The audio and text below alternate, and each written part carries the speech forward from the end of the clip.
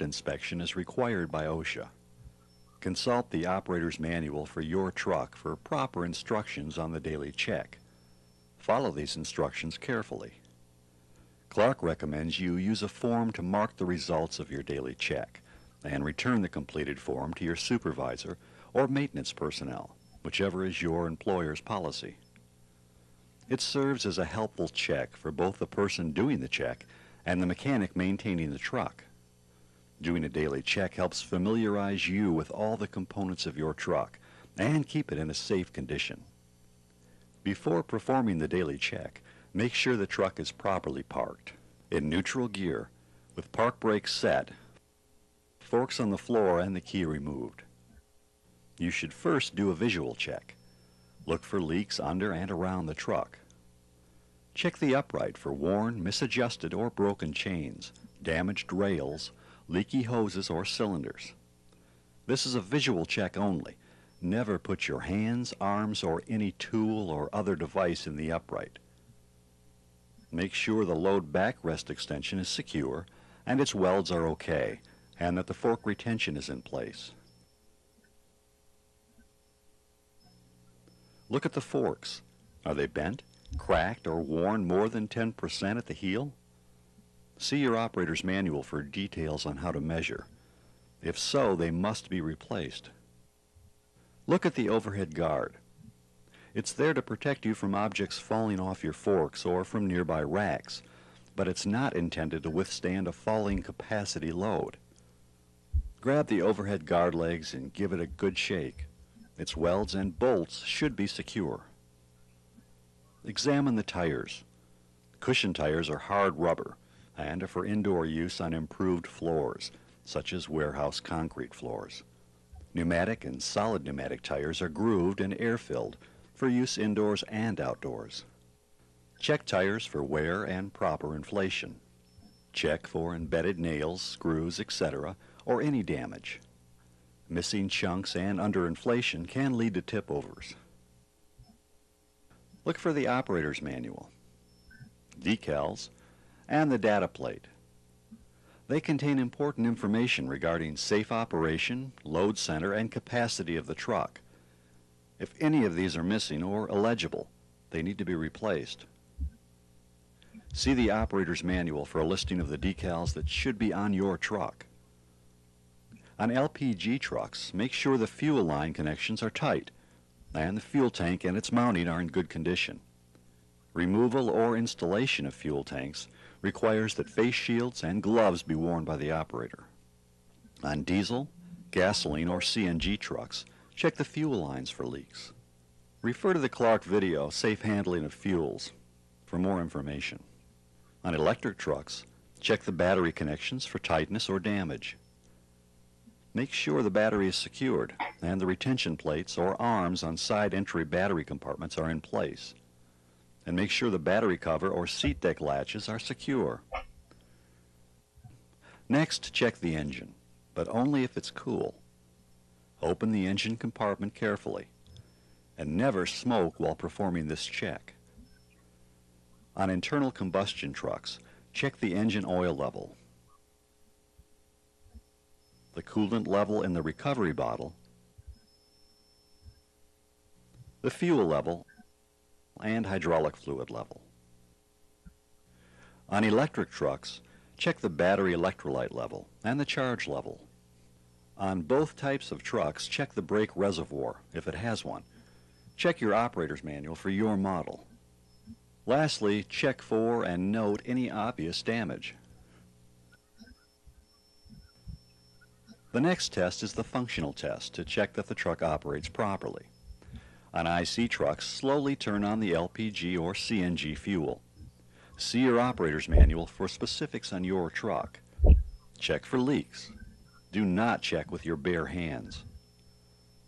Safely enter the truck using three points of contact. Sit in the seat and check the seat belt for wear and the buckle for correct latching.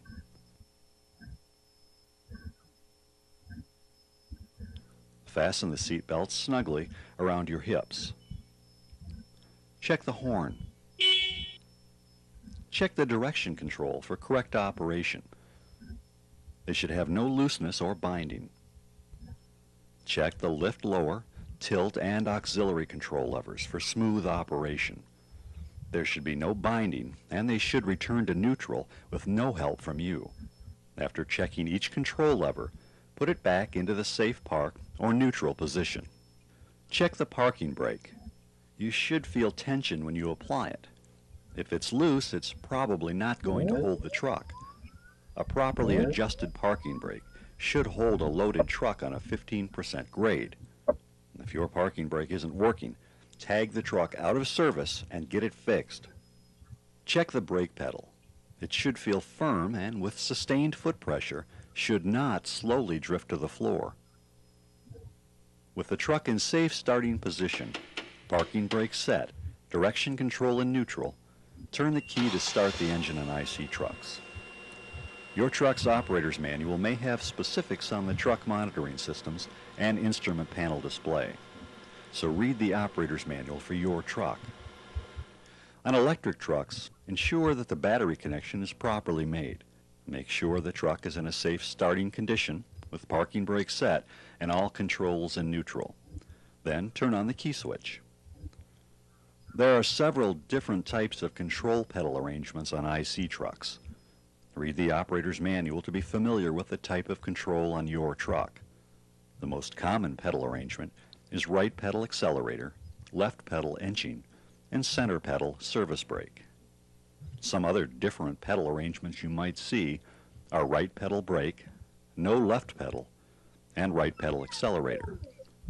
Unitrol, where the right pedal selects direction and controls speed, and a left pedal for inching and hydrostatic drive, right pedal forward and speed, left pedal reverse and speed. Note that hydrostatic drives will feel different than torque converter drives.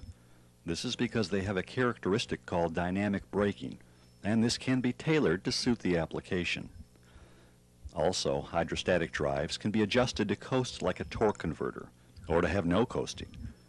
If you are to operate a hydrostatic truck, Read the operator's manual and make sure that you understand the controls. Check for adequate overhead clearance. Operate the lift and tilt functions using the lift, tilt, and auxiliary levers, and cycle the upright all the way up.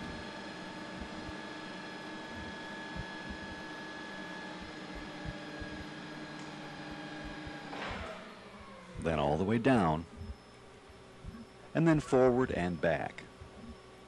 If the upright will not raise to the full height without making an unusual noise, this may indicate low hydraulic fluid level.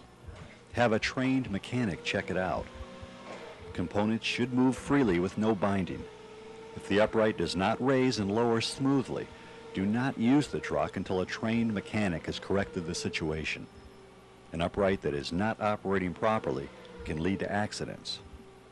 With the upright lowered to its lowest level, Turn the steering wheel a full turn to its stops in each direction. The steering should operate smoothly without any looseness, binding, or unusual noises. Return the steer wheels to straight ahead, release the parking brake, and move slowly forward. Apply the service brake and come to a stop. The brake should bring the truck to a controlled stop without high pedal effort. While operating the truck, Listen for any unusual noises. These indicate that something is wrong. Look behind the truck and check the floor for leaks. If your truck is equipped with lights, alarms, or mirrors, make sure they're functioning correctly and are not missing or in need of repair. If any component of the truck is missing or in need of repair, mark it on the checklist do not attempt to replace or repair the item unless you are trained and authorized. Instead, place a Do Not Operate tag on the truck and remove the key. Take the checklist to your supervisor or maintenance department and inform them of the problem. To summarize, OSHA requires a daily or pre-shift inspection of lift trucks. You must perform both visual and functional checks. Mark your results on an operator's check sheet, which are available from your Clark dealer. Never attempt repairs unless you are a trained and authorized mechanic. Tag out a truck needing repair and alert your supervisor or maintenance personnel. Turn in your completed check sheet to the supervisor or maintenance personnel. And last, do not operate a malfunctioning truck.